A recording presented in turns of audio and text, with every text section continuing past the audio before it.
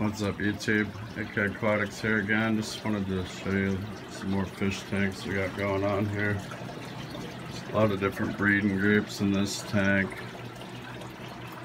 see if I could point some out for you, but uh, there's some Livingstone group here.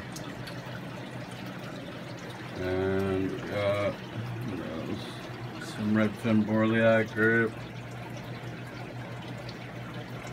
And here's a couple fish we just picked up from Largo recently. The uh, Andouille fire hat there, really nice specimen, about five inches.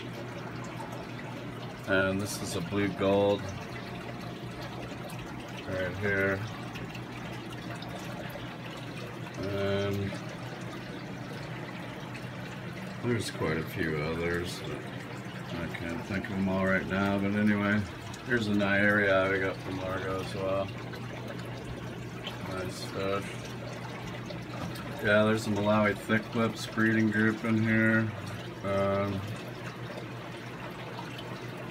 quite a few others. Some Taiwan Reef breeding group. They're going to get all divided up eventually into breeding tanks. I'll show you that here in a second. This little breeding project we got going on. There's another tank here with a lot of breeding groups in it. Um, this is a 150 gallon tank. This one over here is 180. But uh, yeah, there's some dragon blood in here. And some bicolor 500. Here's another uh, I can't see that guy right now. There's quite a few in here, but there's this tank. This should be the 120. This is full of piranhas.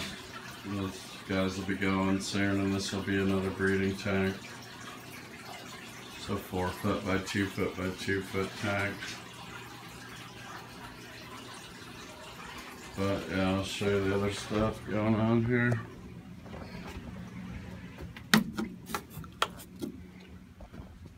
Here's the shelf. Basically just fish tank stand. There'll be three rows high. It's attached to the wall and real sturdy built stand, but there'll be 429s on these shelves and then a row of three 20 gallon longs up top. And this is the other breeding groups.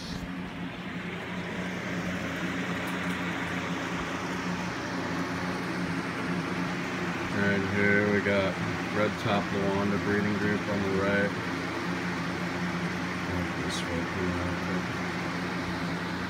And over here is the species 44 breeding group.